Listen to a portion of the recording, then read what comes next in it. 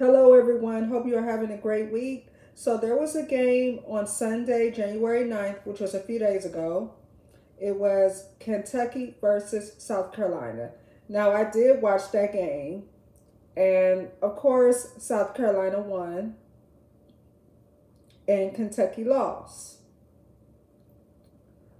So, I don't want to say I was, you know, it didn't surprise me that South Carolina won you know, I already knew, you know, South Carolina probably was going to beat them because I've seen Kentucky play before and they had, you know, their moments where they were losing games against teams that were better than them.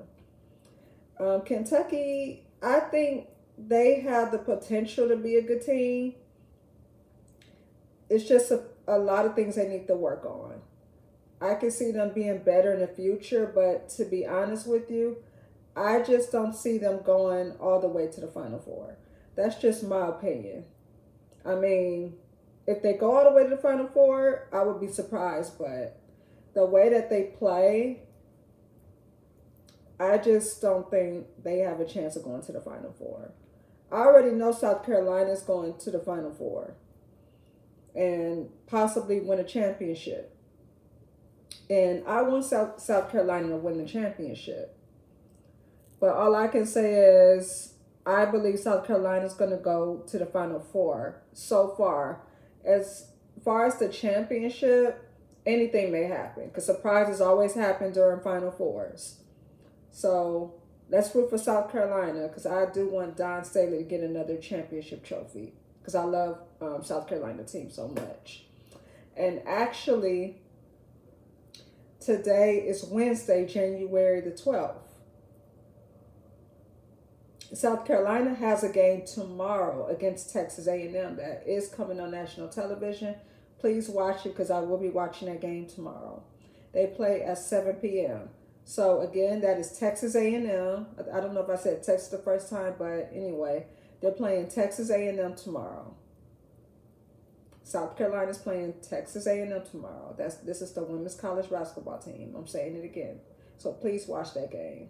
I, I just enjoy watching South Carolina. I really do.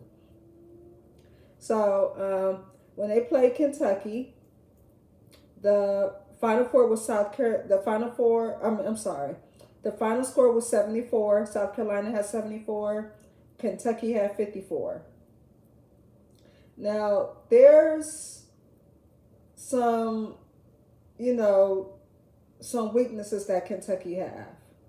They have some strengths as well. I did see some strengths in that team.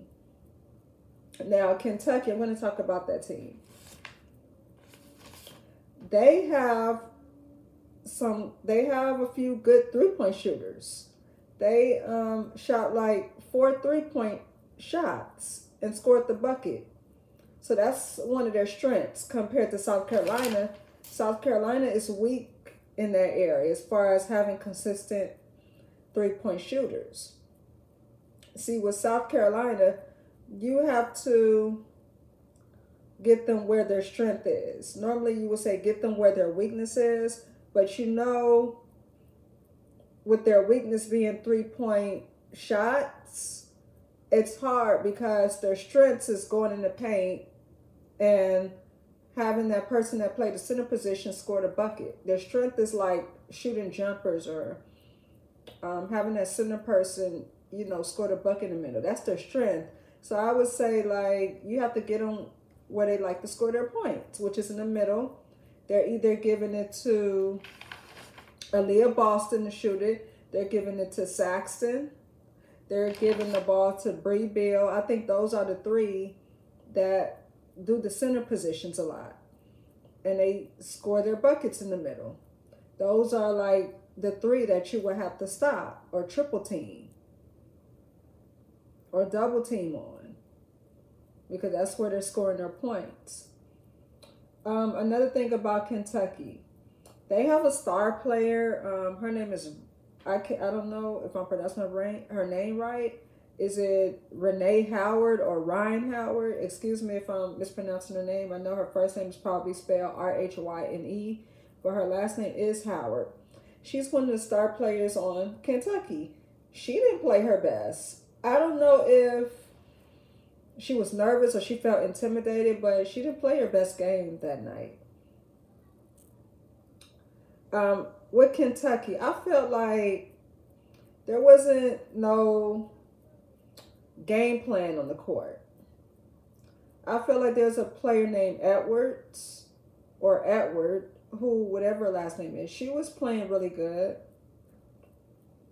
And I saw that she had to force herself to the basket and score the layup because it looked like her team wasn't really into the game. I mean, her teammates was not into the game, and I saw that. And I just feel like South Carolina just ran all over Kentucky. You know, it's a shame when you have five players on the court and then only one wants to win a game. It's sad. That's a shame. And that's what I saw with Kentucky. And like I said, the team need to triple team on um, the center position. Like you have to actually force South Carolina to shoot on the outside. Like I'm really starting to learn the South Carolina team. You have to force them to shoot on the outside. Get them where their weakness is. Make them shoot on the outside. Their strongest point is like in the paint shooting jumpers.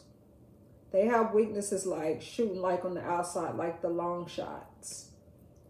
So you have to make them shoot on the outside. Um, I don't know if I wrote some more stuff about Kentucky. Uh, that is about it with Kentucky. Um, I know that day, January 9th, when they played against Kentucky, it was Zia Cooke's birthday. So um, I would like to say happy, happy birthday to Zia Cooke. And let's talk about South Carolina now. Now, um, Aliyah Boston, she and another girl, I know I wrote her name down.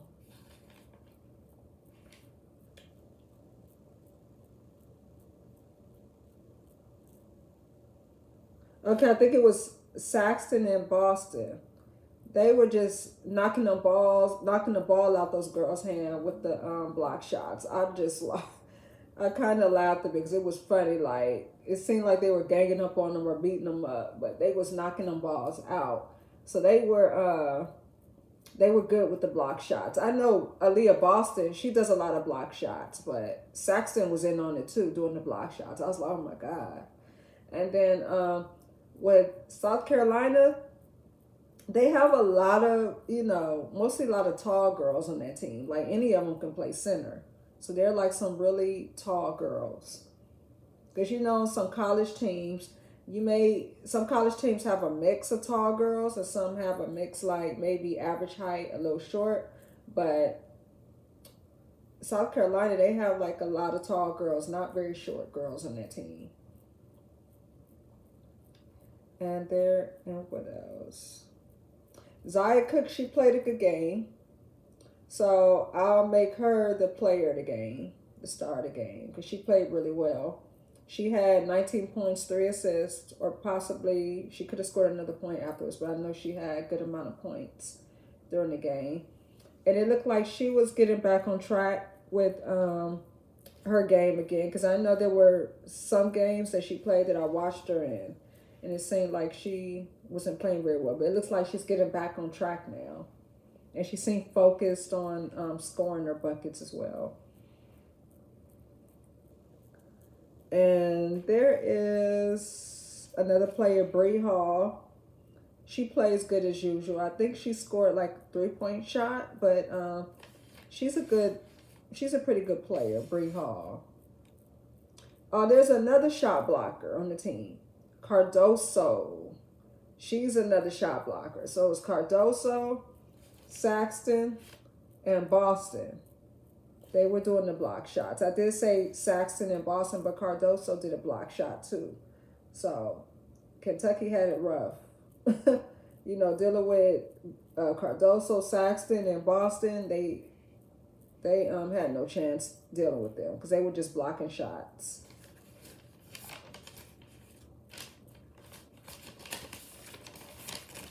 And as far as the game, I would say that is about it, but just a reminder that can that South Carolina and